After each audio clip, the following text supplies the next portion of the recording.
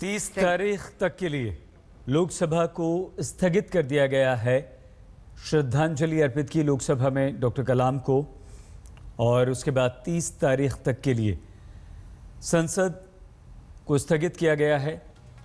आज 12 बजे अब से कुछ देर बाद लगभग घंटे भर बाद गुवाहाटी से पार्थिव शरीर दिल्ली पहुंचेगा।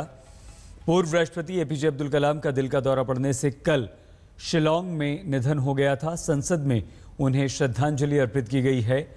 लोकसभा में श्रद्धांजलि अर्पित करने के बाद लोकसभा अध्यक्ष सुमित्रा महाजन ने 30 तारीख तक सदन को स्थगित कर दिया है। राज्यसभा में भी श्रद्धांजलि दी जा रही है। चौरासी वर्ष की उम्र में पूर्व राष्ट्रपति एपीजे अब्दुल कलाम का दिल का दौरा पड़ने से शिलोंग में कल निधन हो गया। वो इंडियन इंस्टीट्यूट ऑफ़ मैनेजमेंट में लेक्चर के लिए शिलोंग गए हुए थे और लेक्चर दे रहे थे। तो दो दिन के लिए लोकसभा को स्थगित कर दिया गया।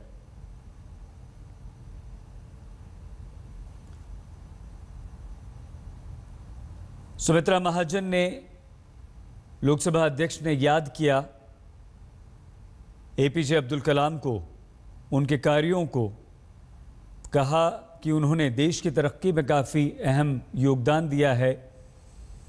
स्पेस रिसर्च में अब्दुल कलाम के योगदान को भूला नहीं जा सकता। महान वैज्ञानिक और अपने वैज्ञानिक कार्यों से उन्होंने देश को आगे बढ़ाने में एक महत्वपूर्ण योगदान दिया है।